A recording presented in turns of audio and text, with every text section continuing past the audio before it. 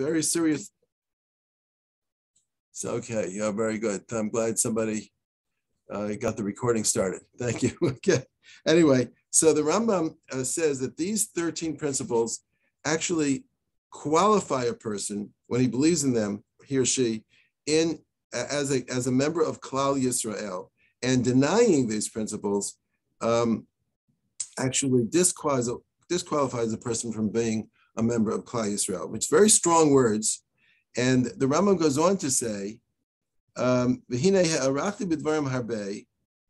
um, uh, I've got I've been very lengthy about this, and I've I've gone outside the parameters of my typical composition. Avo, however, I did this because I see benefit in faith.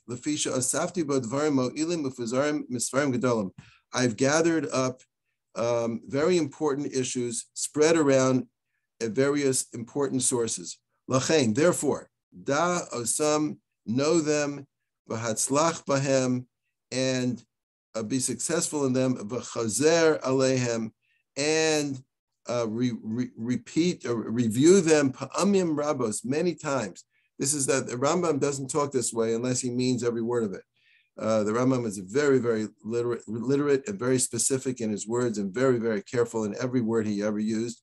Choser pa'amim rabos, go over them many times. Hispanein bahem, hispanus yafa, and uh, contemplate them a deep and uh, powerful contemplation. Um, and v'im libcha, and if your heart uh, convinces you, and you think that you have it all understood from one review, or from ten. God Himself knows that your heart has just convinced you about a falsehood. You cannot understand this by going through it once or by going through it 10 times. Therefore, do not be hasty in reading it. Ki ani lochi barti kafi mashin is damili gadol. I only composed what I what came to my hand, so to speak, after tremendous, deep um, uh, investigation, hisponeness and contemplation. Um, so therefore, the Rambam is telling us these are not simple things, and this is the philosopher of the Rambam, um, and uh, who obviously is capable of extremely profound and subtle thought. And he's telling us that this stuff doesn't didn't come easy to him, and it shouldn't come easy to us, and we should review it. Now, the, the one reason that he tells us to review it is because there's a difference between knowing and being this stuff, which means, as we're going to see, um, most of these things, it's not difficult to say, yeah, I, I agree with that. But it's a totally different story to say that I am, that I actually conduct myself that way. Uh, there's a big difference between something that we know is true and something that is internalized so much that we don't even have to check in with ourselves to see if we know it. I always use gravity as an example. Gravity is such an example. Nobody says, I agree with gravity, or I believe in gravity, or I know there's gravity. You just live your life uh, so truly consistent with gravity that you never think about it. You don't check in with yourself and say, I wonder if gravity is working today. It's just so real to you that uh, everything you do is based on the fact that there's gravity. And uh, it's the same thing with these principles. The Rambam is telling us review them and internalize them, and don't think you're going to understand them one time or 10 times, um, because uh, it's not just a question of knowing them, it's also a question of having them be inter- uh, not only profoundly understood, which the Rambam says can't be done in a simple Passover, but also uh, uh, have it become actually part of your consciousness. A person's behaviors are consistent with the way the world looks to them. So if you if you say, yeah, I know there's a God, the Rambam is not satisfied with that. The Rambam wants you to have internalized that there's a God to the point where your behavior is consistent with that without having to figure out if today you still believe there's a God or no, there's a God. Uh, so that's that's this is a very important point that we should understand about what what's going on here with these principles. Secondly, what we're going to do tonight, and uh, can't speak for the other speakers of the of the other 12 principles, but I can tell you we're not going to do justice to the first principle. Um, we can't, not in a short time. We can we can cover some outline, uh, we can cover some important points, but we're not going to do full justice. Now, what what first of all, I want to uh, um, do a very quick overview of the 13 principles, and not in the Rambam's words. So, if you have your ArtScroll Siddur, open to page 178. I'm sure everybody's familiar with these Ani Mamins. There are at least two out of the 13 are rendered in music of one type or another. Um, but these Ani Mamins are a summary, not clear who authored this. Um, these are not the words of the Rambam. Uh, and to some degree, they're not even thoroughly accurate to what the Rambam's intention was, but they're enough for us to see the full uh, um, breadth of what the Rambam covers. So let's look at them very quickly. So we'll look at the English on page 179. I believe with complete faith, these are, again, these, this whole idea of Be'amuna Shlema, complete faith with perfect faith, uh, nothing wrong with that, but those aren't the words of the Rambam. Um, that the Creator, blessed is his name, creates and guides all creatures, and that he alone made, makes, and will make everything. Okay, so God is the Creator and uh, the only Creator. Uh, we'll see that the uh, the Rambam's words are much more detailed and add important dimensions here. Each one, it's true, but I just want to get the ideas here. Number two, uh, the Creator, blessed is his name, is unique. There is no uniqueness like his in any way, and that he alone is our God, who was, who is, and who always will be. That's called the unity of God. Uh, three, I believe with complete faith that the Creator, blessed is his name, is not physical, an incorporeality of God, is not affected by physical phenomena. There's no comparison whatsoever to him. That's different than being unique. There's no, that's, uh, well, when we get there, we'll get there, we'll explain it. Number four, I believe with complete faith that uh, the creator is the very first and the very last. Number five, the creator, to him alone is it proper to pray, and it is not proper to pray to any other. Now, let's stop here. These first five deal directly with God. They tell us something about God in each one.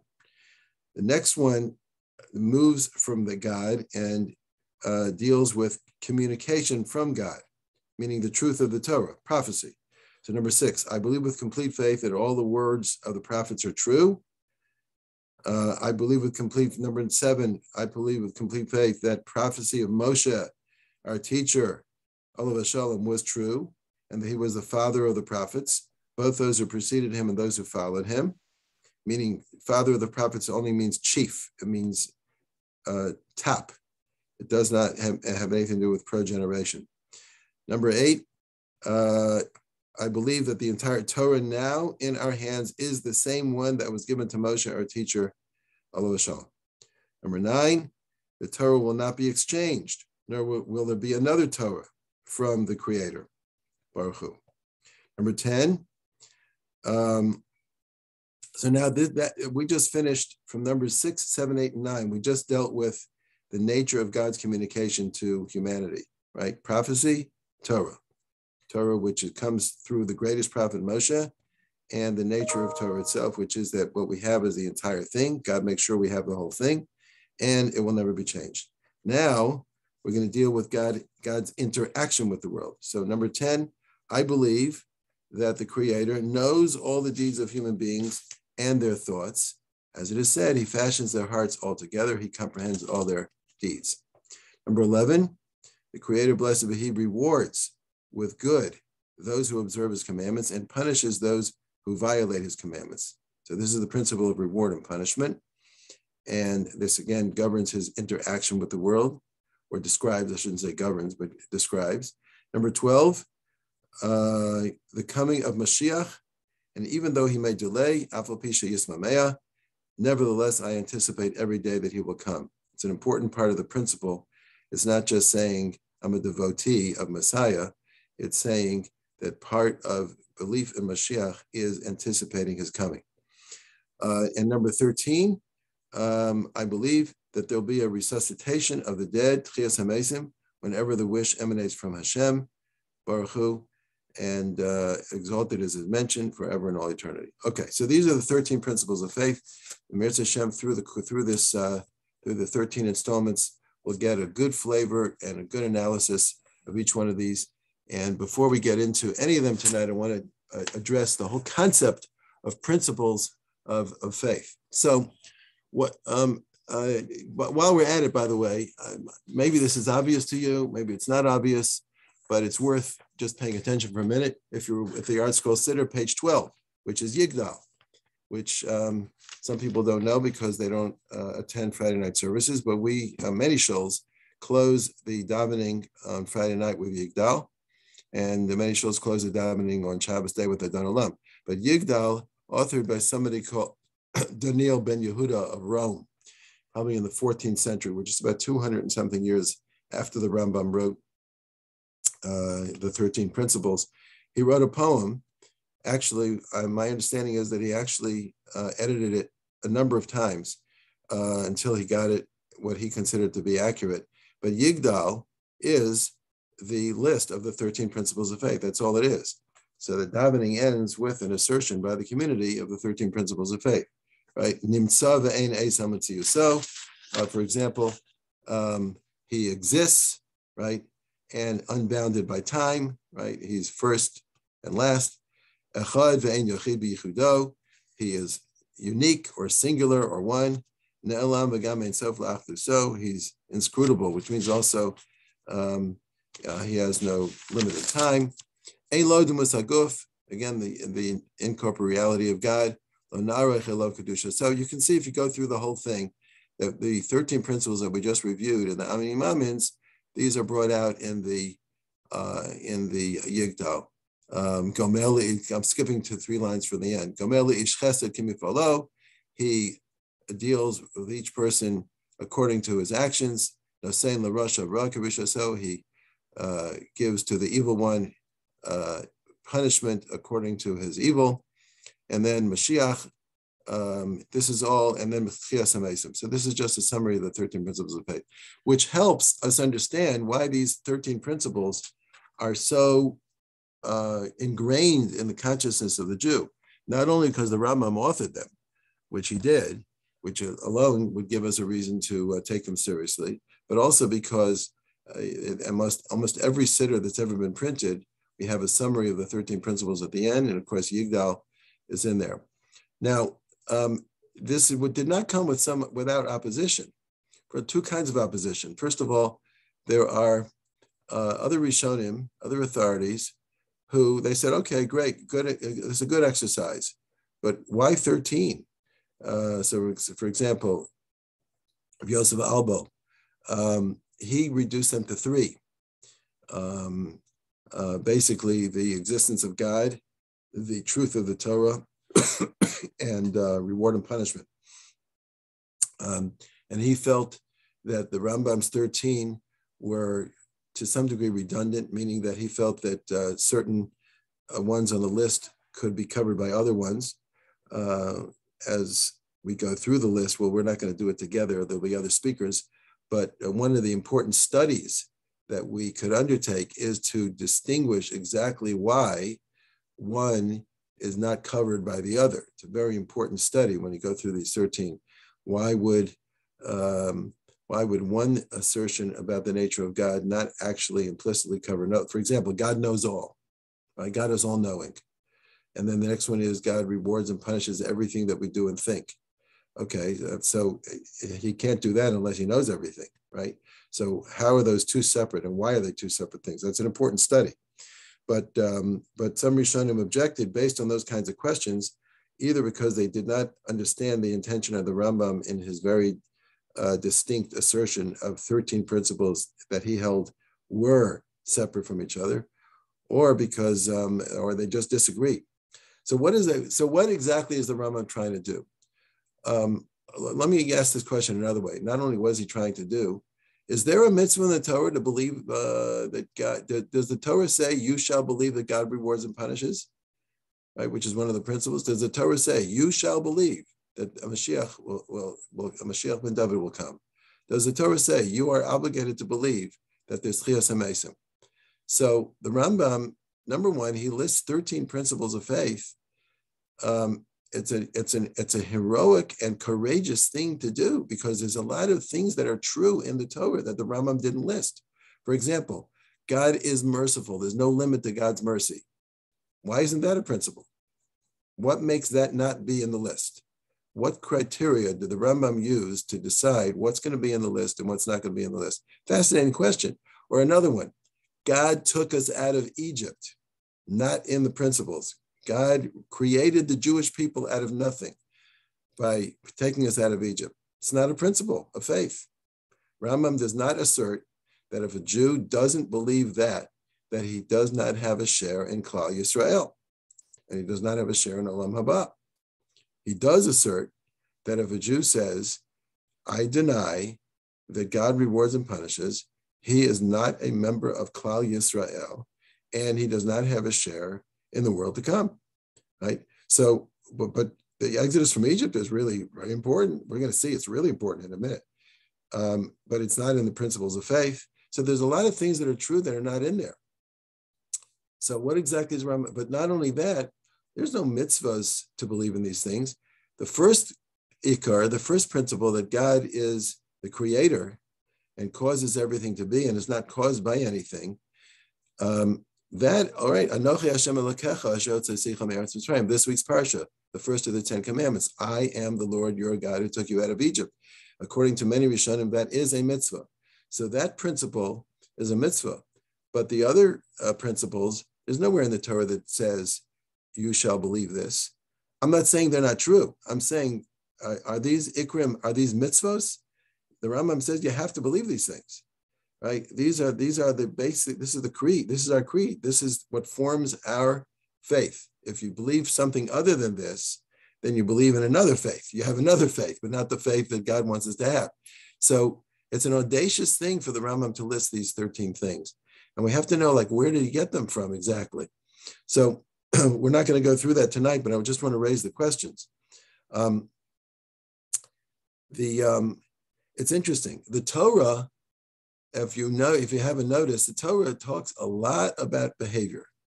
Talks a lot about good people doing good things and bad people doing bad things. The Torah talks very little about belief.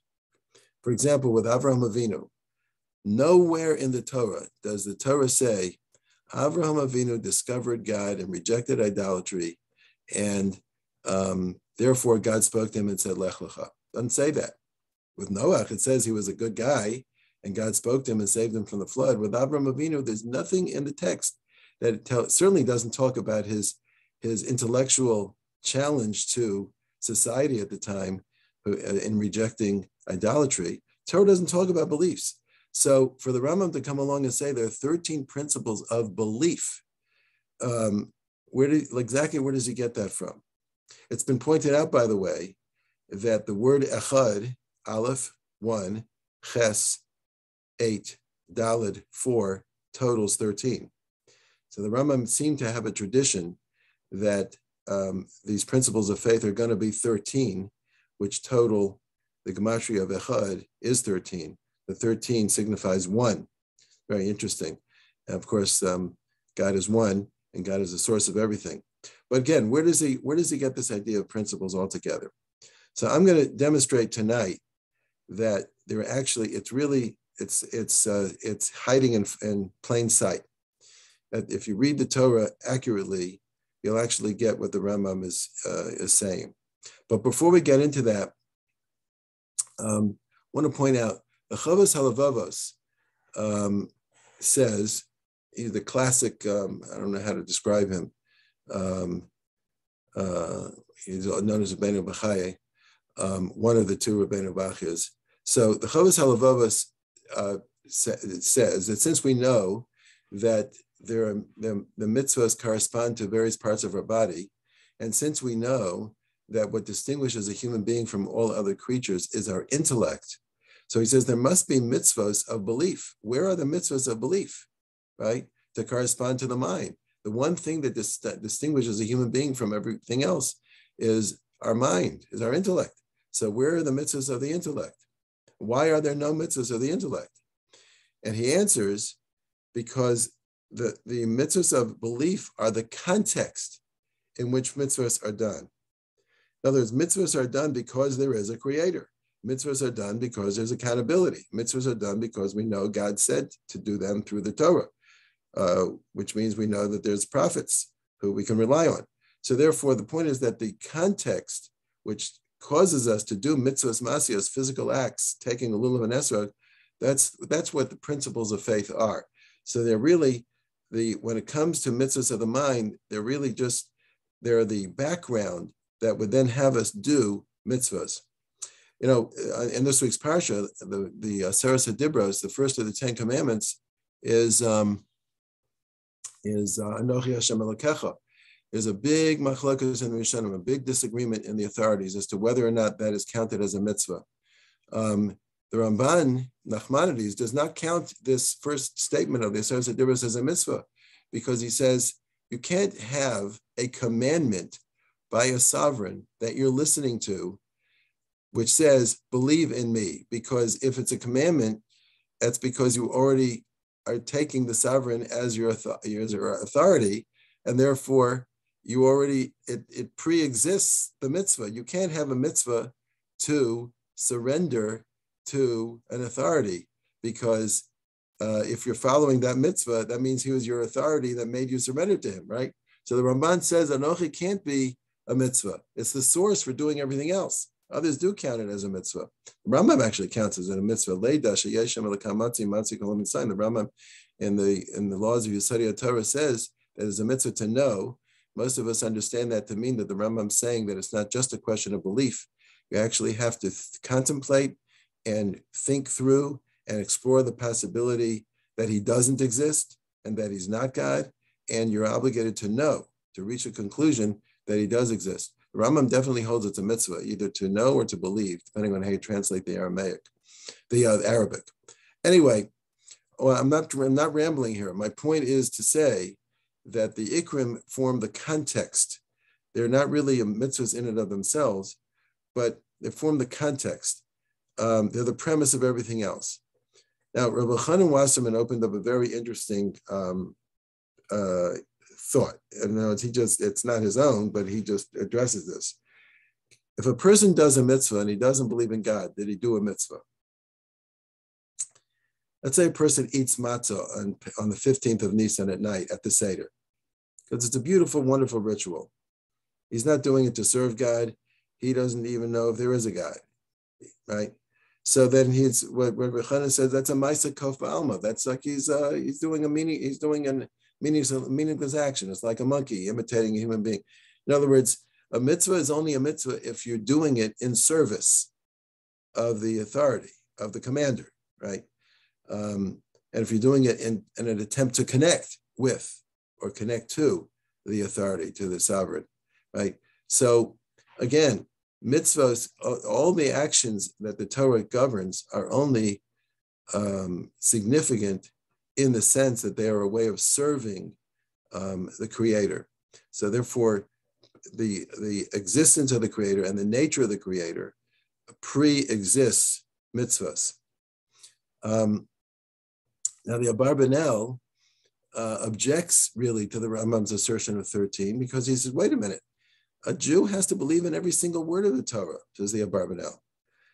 So uh, how could you say that these 13 things you have to believe in and other things uh, you, you, may be wrong, but you, but they're not absolutely essential. The Jew has to believe in everything. The Rambam himself says in principle number eight, Rambam says that you have that the Torah is true. The entire Torah that we have is the Torah that God gave us, and every word in the Torah, including um, locations and, and cities and so on and so forth, every single word is part of the Torah, and you have to believe every single word of it right? You can't, you can't deny even one letter in the Torah, says the Rambam.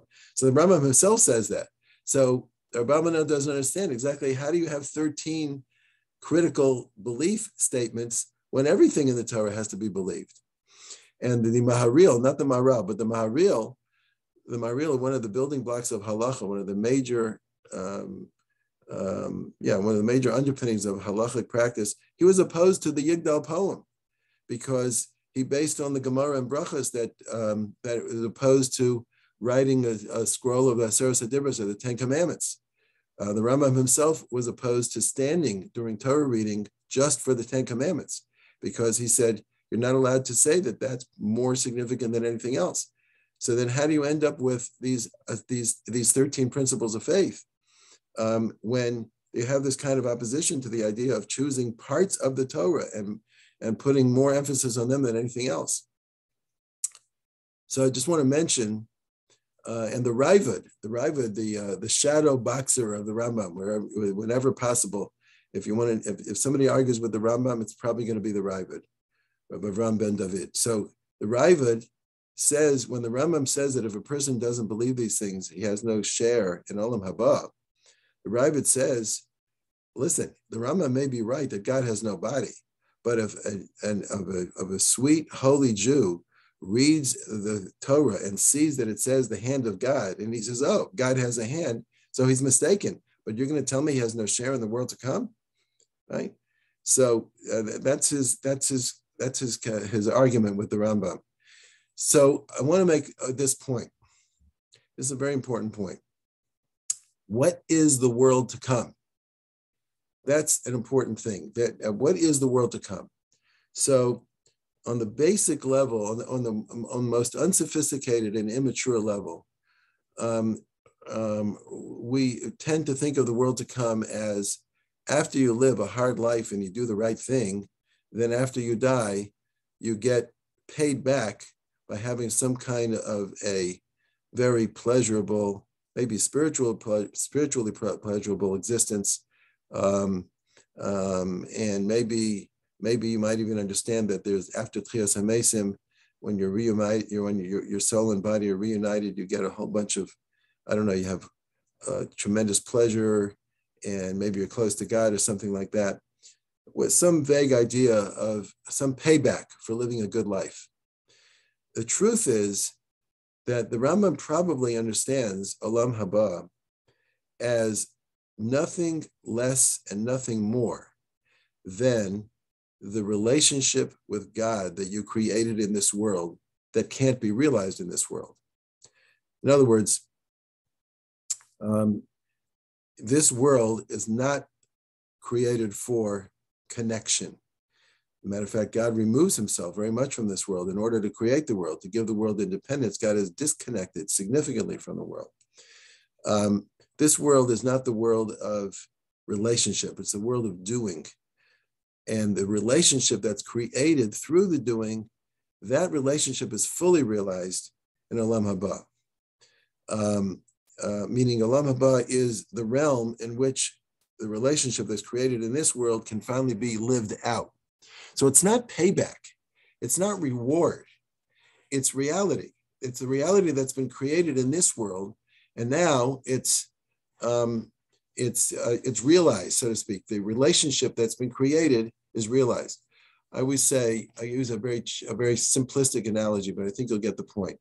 Husband and wife are deeply in love, and they're separated by responsibilities or whatever whatever it is for months or years, West Coast, East Coast, and um, during the time that they're separated, there's two couples like this. One couple, the husband and wife, they send each other love notes all the time. And they send each other flowers and they um, they're on the phone with each other and right but they're not with each other. They're just they're on two sides of the continent. Finally they get together. When they get together their relationship doesn't begin when they finally get off the plane and fall into each other's arms their relationship is already created and formed by the way they were behaving while they were on both sides of the continent except they couldn't realize, they couldn't experience that relationship because they were physically separate. When they get together, the investment that they made in each other from before is now realized. So they don't pick up where they left off. They actually created something new while they were separate by showing their care and love and affection for each other. The other couple, same circumstances, they said, Hey, we're not really together. There's nothing we can do with each other. We'll wait till we get back together. We care for each other, but you know, we're not here. So they didn't call, they didn't send gifts, they didn't send flowers, they didn't send whatever it was. They didn't do birthdays. When they get together, guess what? They created distance. And that's just the way it is. by by uh, by ignoring each other. So that's a simplistic example. Olam haba is the realization of the relationship that was created in this world that couldn't have been fully realized in this world because that's not what this world is about. This world is about accomplishment. It's not about connection. Now, tzaddikim are already so aware of the connection with the Kadosh Baruch Hu that they already have me'ein olam haba. They already have a part of olam haba in this world. So when the Rambam's talking about people who believe this, what he's saying is, uh, he's saying an interpretation of the Mishnah. Every Jew has a share in the world to come, which means every Jew is created, connected to God. And even if a Jew sins, that Jew is going to have to be accountable for his sins, but that Jew has an automatic default connection to his or her creator. Um, if a person doesn't know and believe these 13 basic things, then that person is relating to a different God than the one who really exists. It might be a God that's similar, but that's not God. That's your concoction. That's your maybe elaborate, developed uh, thesis, uh, theology, but it's not God. In other words, the 13 principles are an accurate description insofar as God will allow himself to be known in this world. Uh, in, there is an accurate description of the relationship with God that God wants us to have with him. So, for example, if a person doesn't know that God is all knowing, then he has a defective relationship with God. And therefore, he is not capable of having this is the basic minimum standards or terms of the relationship with the Kadosh Baruch Hu. So therefore, the Raabad's objection, uh, the, it could very well be that if a person thinks the wrong thing about God, even if he's not evil, but he's missing the point, he doesn't have an accurate uh, idea of the God that he's relating to, and therefore he's forging a relationship with uh, with another with a non-existent being. Um, another side point related to this is again using a, a, very simplistic analogy. If a person is very good friends, let's say a person has a roommate or a husband and wife, a, a, some ongoing close relationship, and um, one day he decides, you know, it's it's uh, my friend's birthday or my wife's birthday. I'm going to get them. Um, I'm going to get them some ice cream, right? And he goes to the store and he buys them a quart of ice cream to go celebrate their birthday, and he brings home a quart of chocolate ice cream and the wife or the friend, whatever it is, says, It's so nice, but we've been together for like 15 years. You don't know that I don't do chocolate. I only like vanilla, right? So the point is that if you don't know the being that you're relating to, there's a, there's a distance in the relationship.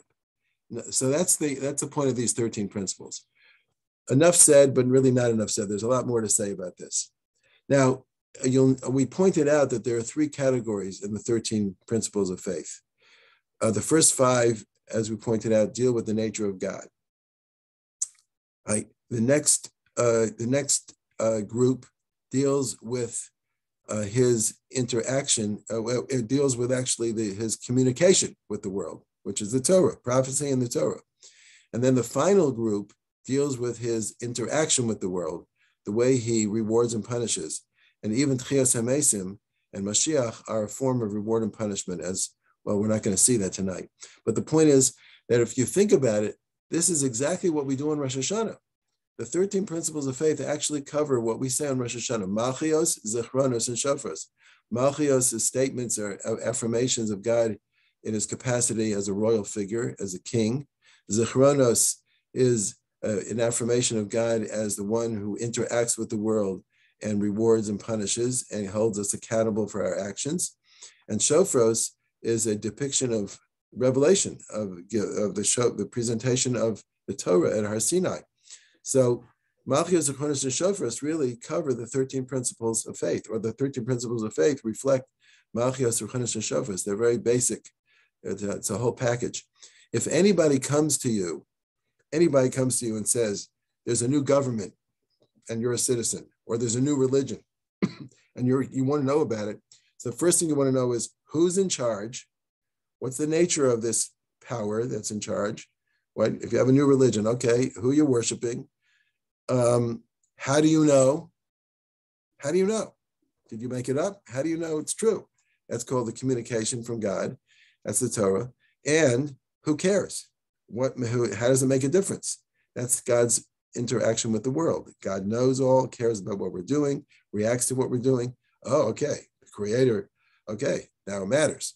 Right. So that's the. But these are three basic ingredients that you need with any any system uh, that makes a difference. Any system of authority. Certainly, system that has to do with with serving the Creator of the universe. Okay. Um,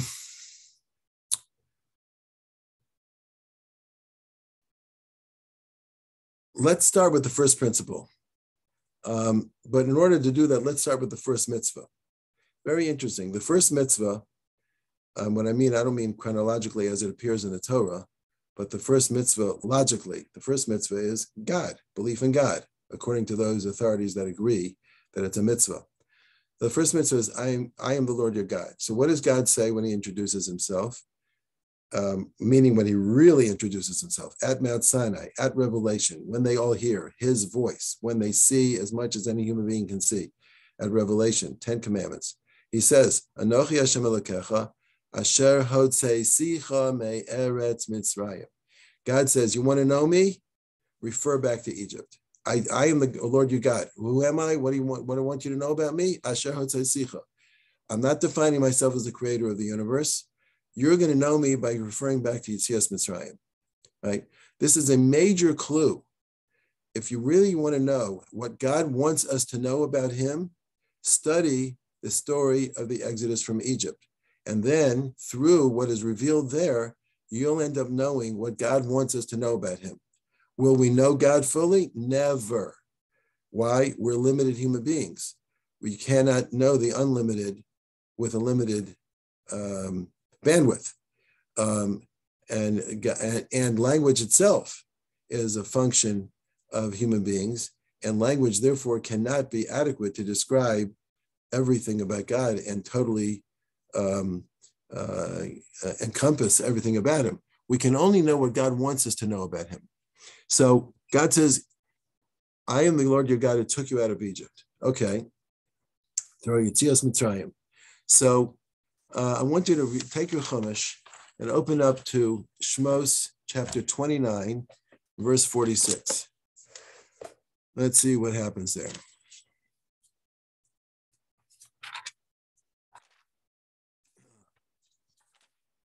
And let's see, Chad Shmos 29, verse 46. I'm going to be surprised also because I forgot what I wrote here. Verse um, 46. Yep. Okay. All right. They shall know that I am the Lord your God,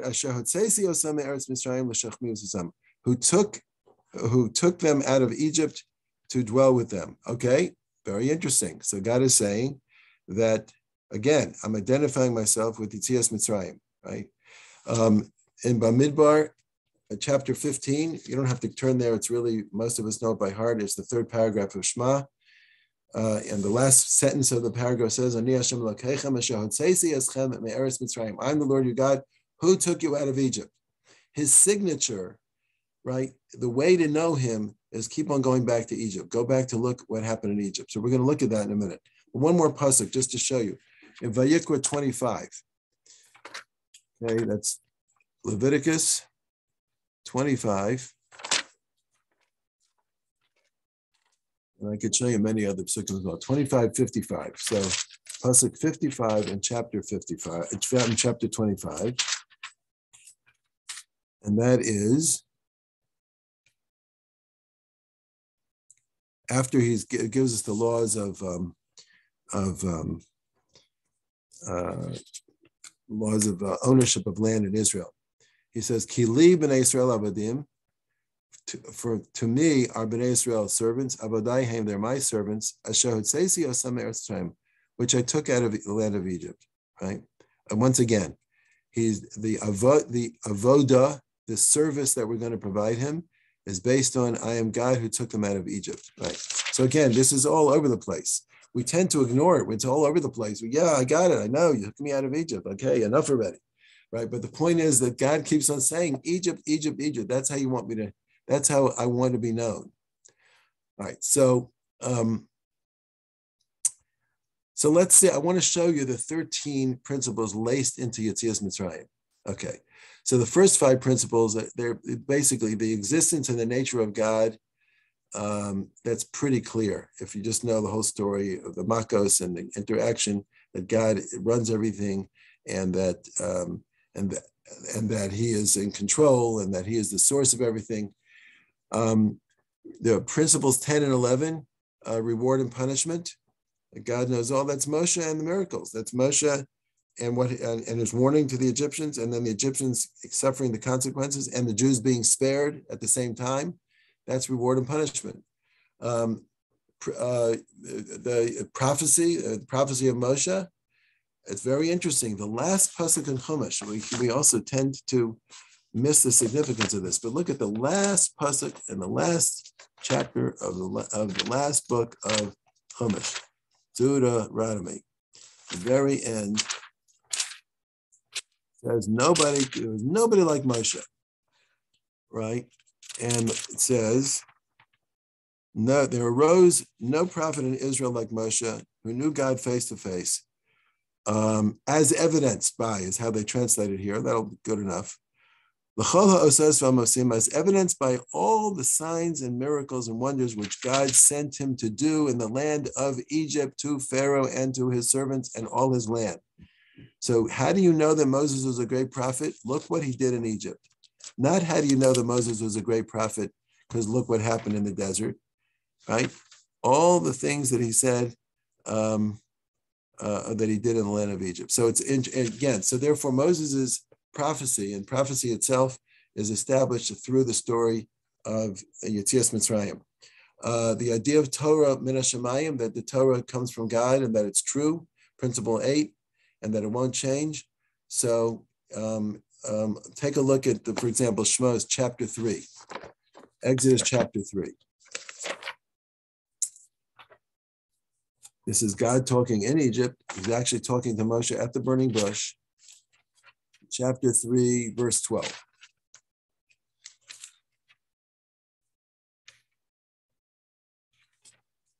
Well, Yomer, God said, eh I'll be with you. This is the sign that's going to prove it. That I sent you, Moshe. But When you take out the people from Egypt, you're going to serve, worship God. That's Matan Torah, the giving of the Torah on this mountain, right? So the giving of the Torah was one of the major point, was the major point. God, says, this is the sign that I sent you, that you're going to come out and you're going to get the Torah right here on this mountain, right? So again, the Torah uh, as a purpose, uh, as a, a, message from God is right here established in Yetzias Mitzrayim. And then Moshe is saying to Paro, send out my people that they may serve me. What avoda we're talking about? We're talking about Matan Torah. That's what, God, Moshe is saying to Paro. Send, a, send in the name of God. Send out my people that they may serve me, meaning they're going to become my avodim through the acceptance of the Torah. That's all right there, laced into Yetzias Mitzrayim. Now Mashiach, Mashiach, where does Mashiach come in in Exodus from Egypt? Well, first of all, the Exodus from Egypt itself is the blueprint for all future redemptions all redemptions that the Jewish people ever experienced or need to experience are embedded in Yetzias Mitzrayim. That's number one. Um, but very explicitly in Shmos chapter 3, verse 14, HaKadosh Baruch Hu says, when Moshe wants to know what name he has, what name he should use to identify him to the Jews, God says, Ehya Asher Ehya which is uh, right, which translated almost meaninglessly, I will be that which I will be. But Rashi says that that means I will be with them in their exile and I will be with them in the redemption, in all future redemptions. So right there, God is saying that I will always be the redeemer, the savior of the Jewish people. Tchias HaMesim, the, uh, the, the assertion of life after death, that's a relatively simple, but maybe not and that's the song of the sea. Ashira Hashem, uh, um, Az Yashir Moshe. Then Moshe and Bnei Israel Yashir will sing. And the sages say, what do you mean will sing? The Torah is describing that they did sing. Past tense would be appropriate. And they say, they can the Torah. from here we see Tchias already laced into the Torah. So they, they will sing because even though they already sang, they'll sing again when they come up from the dead. Now, on a simple level, it's appropriate for Tchias Mesim to be disclosed there because that's when the Jewish people were given life. They were basically, as a nation, given up for dead twice. But one in the servitude in Egypt, and then another time when the Egyptians come up to them right at the Yam Suf, they have nowhere to go. And so Tchias HaMesim, as a matter of fact, the Tur says that Tchias HaMesim, life after death, will occur in the month of Nisan. Why? Because that's the month that Tchias HaMesim originally occurred, so to speak, um, with, in um, in uh, Egypt. So I'm just demonstrating that Yetzias Mitzrayim has all the 13 principles of the faith embedded in it. So that God says, you want to know me, you want to know how to relate to me, just study Yetzias Mitzrayim and you'll get the whole thing. You'll get all these 13 principles. When a person dies, um, he's asked, Sipisa Yeshua, did you anticipate, did you yearn for redemption? Where in the Torah does it say to yearn for redemption? The answer is from our belief in Yetzias Mitzrayim. I am the Lord your God who took you out of Egypt, It took you out of Egypt, just like you believe in me as your savior then. I'm telling you, believe in me now as the one who took you out of Egypt. So believe me as your savior, and you believe in me as your savior in the future. Okay. That's why a person is asked, did you anticipate sal- salvation? All right, now very quickly, here we are at 926 we're finally getting to some amplification of the first principle. We'll try to make this fast. Um, God can handle the speed, so he won't be uh, he won't be upset that we're only giving him four minutes directly on the first principle. But I think this introduction is very important. This overview. So, um, the, first of all, I want to read you an English translation of the Rambam's own words. Um, the, the first principle to believe in the existence of the Creator, may he be blessed, meaning that there is an existence that is perfect and absolute, uh, existence that is perfect and absolute in all facets of uh, and, and in all facets of existence. He is the cause of all that exists, the sustenance of all, and through him all is maintained. There is no possibility that he does not exist because without him, all existence would cease to be and nothing would remain. Whereas, if we would imagine the absence of all existence other than his, the existence of God would neither cease nor diminish. For he is self sufficient in his existence, he suffices in himself, and his existence requires nothing other than himself. For among the intelligent, being, intelligent beings, the angels and the constellations and all that they contain and all that is below them, they all need him for their existence. This is the first principle as affirmed by the verse, I am the Lord your God, which is uh, the, the first of the Ten Commandments. So he said a lot of things there. So first of all, what he's saying is he's the only cause, right?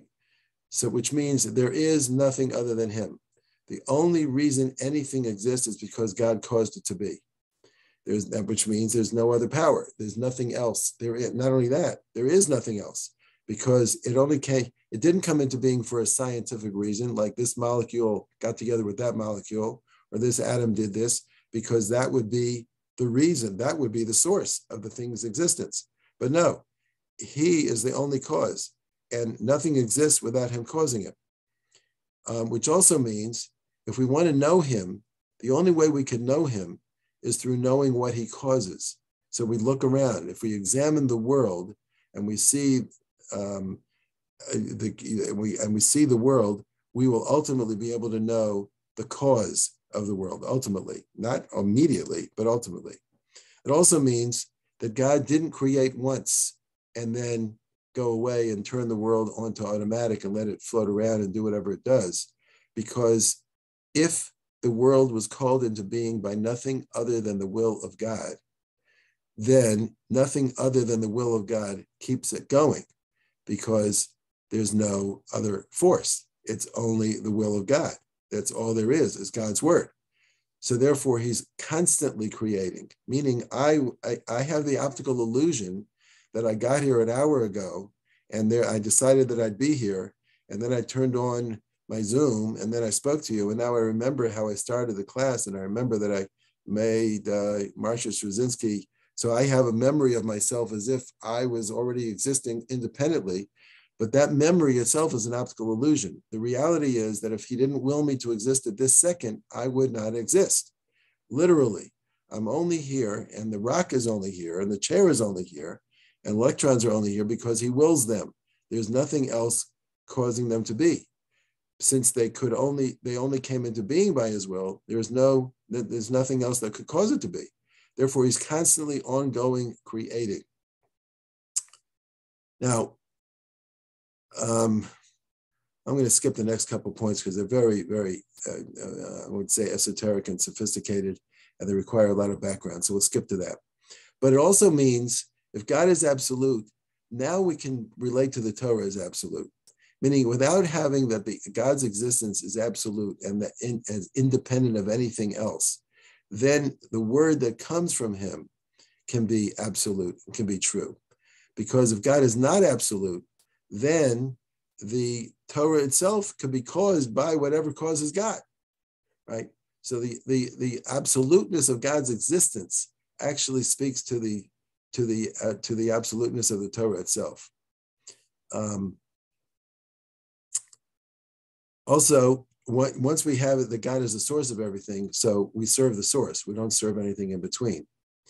Um, it's also important for us to realize that inherent in this principle is that the difference between man and God is not that God is a superman, right? It's not a quantitative difference that God is just us times 500 million, but that God is qualitative. He's totally, because of the fact that he causes the world and the world doesn't cause him, he's not part of the world.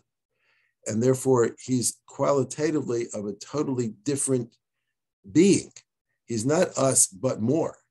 He's just uh, because we didn't cause him and he caused us. And uh, had he not caused us, we wouldn't be here. Therefore, he's in a t- he's a totally different kind of mitzias, a uh, different, kind of reality.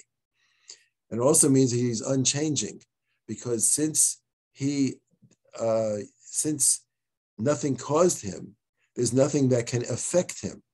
Change can only be when there's something interacting with him and causing and causing something. But in, in, and since God is the source of everything, he's unchanging. There's no change in his mood. There's no change in his nature. There's no change in his power. Um, um, so those are some of the implications of this of this um, first principle. That God is the first cause and nothing caused him. And he's actually also what's involved here is that he's separate from the world. That's where the term Hakadosh Baruch Hu, we'll close with this. The term Hakadosh Baruch Hu, the Holy One, blessed be He, is not just a religious term that you know we use because it uh, sounds good. Hakadosh means the one who's removed, the one who is totally separate from the world, but Baruch Hu, but he's blessed. What does mean blessed? Blessed means he's the source of blessing. So here's this being that's totally removed and not part of the world. He's above and separate from the world, causing the world, and therefore has nothing to do with, there's nothing about him that is in this world, nothing like him in this world because he created it. Everything in the world is a creature and he's a creator, totally opposites. And yet, Baruch Hu, he's the source of all blessing. He's involved and invested in the world, and he's uh, he is the source of bracha. So Hakadosh Baruch Hu describes the Jewish idea of a Kadosh Baruch Hu, of the of the Creator, that He's totally separate and and not of this world, and yet invested in and interacting with and providing for this world. So that's the first principle, and I think I hope you you um, got a view of what the Rambam is trying to accomplish here with these principles, and how uh, a relationship with Hashem is to be uh, formed and discovered through our contemplating Yetzias Mitzrayim, and that's why Yetzias Mitzrayim, the Exodus from Egypt, is so basic to our psyche. Um, and um, and uh, also, uh, just to review, the whole idea of the relationship with Hashem that is realized in Olam Haba, and that's why these Ikrim are so critical because they accurately define the nature of God. And these are the ones that the Rambam felt are absolutely required for us in order to be able to have the minimum relationship with God that God wants us to have. Okay, thanks for your attention. Uh, let me just check the chat very quickly, just in case somebody had a burning question and maybe you should have made. Oh, there's five chats there. Sorry about that. Uh, okay, allow late registrants to come in. I hope that was done. Uh, thank you, sponsor. Oh, wow. I did not know that. And I, please forgive me for not knowing that. But Zahava Kurlin sponsored this uh, presentation in loving memory of Selma and Dan Burke. Yes, we announced that on Shabbos. Thank you so much. Um, okay. And was this recorded? 80% or 90% of it was recorded. Um, okay, let's see what else. Yeah, it is recorded, and you can certainly get access to it by calling the office because we're going to get a, um, a, a, digital copy of it. It comes usually within a with less than an hour. Okay. Thank you all for your attention. Great to see you all. Thank, Thank you. Thank you, Thank you. Thank you, Thank you, Yasher koyach. Thank you, Rabbi. Thank you, Rabbi. Thank you, Rabbi Ilan. Totally welcome. Thank you. Thank you. Thank you. Thank you very much. Thank you. Thank you. Great. Great.